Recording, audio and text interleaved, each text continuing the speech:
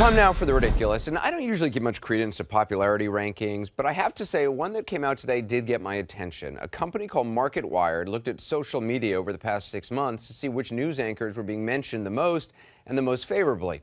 I came in number two with more than 560,000 mentioned, 85% of which were favorable. I appreciate that. Thank you.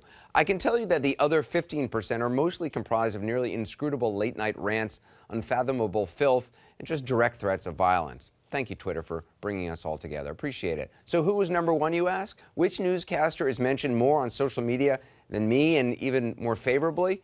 That would be none other than Ron Burgundy. Mentioned almost 567,000 times in the past six months, 91% favorable. 91%. Burgundy beat out not only me, but also Megyn Kelly, Katie Couric, Wolf Blitzer in the top five. So Ron Burgundy is a top notch journalist. There's no doubt about it. But I think the data might be a bit skewed. For one thing, there's no movie about me, whereas Burgundy plays a small role in Anchorman 2, which is in theaters today, as you surely know, because it's gotten some promotion, you might have noticed.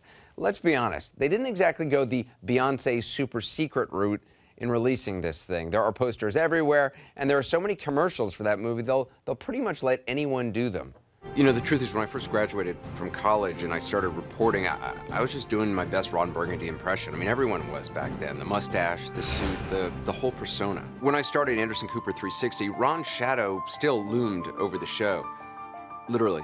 There was a cardboard cutout of him in the studio blocking one of our lights. He, he had it in his contract that it could never be removed. It was a huge pain in the ass technically that actually wasn't a commercial. It was more just like a fun thing, a funny or die. Anyway, not only are there many, many commercials for Anchorman 2, for months now, Burgundy has been showing up on virtually every television show that's currently on the air. Wolf, it is, it is a pleasure to be in, in your presence, and I, I just have to ask you, um, do you use Vitalis hairspray? I do use a hairspray, but yes. I'm not familiar with the name. The na I, I, tell the oh, makeup you should use Vitalis. Spray it, just don't touch it. Spray it, don't touch it. Yeah. I, I say that about numerous parts of my body. Ron would be a little nervous to be in your presence because he's been out of the news game for a while. If this news thing doesn't work out for me, what do you think? Do you think I've got some potential uh, on the big screen? It's great interview if, with you. Now, let me great you to meet you.